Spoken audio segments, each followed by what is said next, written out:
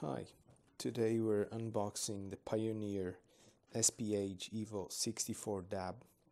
And this is a single DIN radio with a detached um, screen so you can mount it in your dash.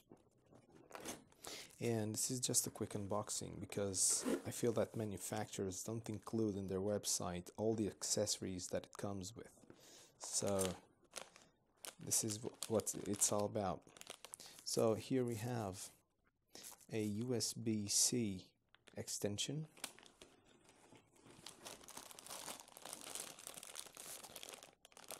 The the the radio plug with the preamps and uh, rear camera and all the other coax connections. The microphone to put in your dash so you can uh, communicate hands-free in your calls. A USB-C to USB-A adapter. A GPS uh, to put in your dash to have better accuracy um, because this has Waze and Android Auto integration. And then we have the the plug. I think this is um, to integrate with the uh, steering wheel interface.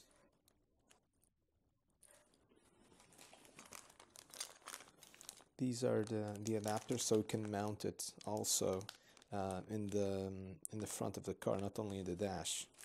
So you can have it both ways. Then we have the screws. Have some manuals, Pioneer manuals.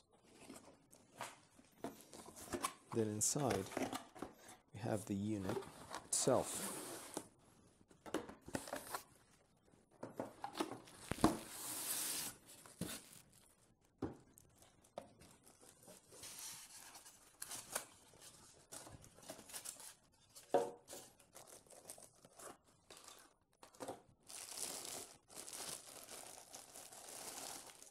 So this is the unit.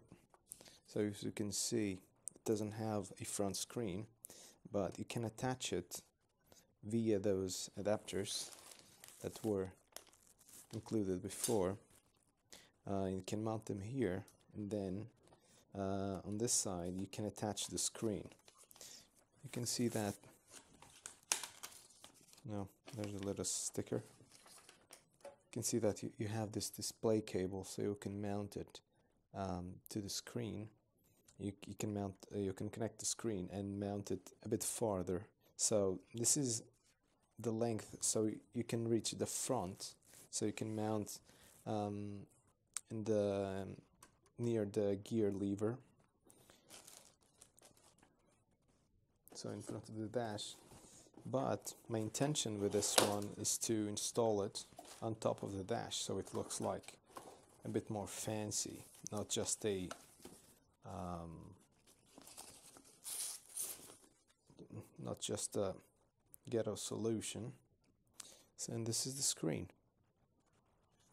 This is a nice, nice screen, nice GPS. Uh, you can't see here, but here you have the um, the commands. They're capacitive, capacitive uh, buttons, and that's it. That's all that, that we have inside the box. I hope this was helpful and um, see you next time.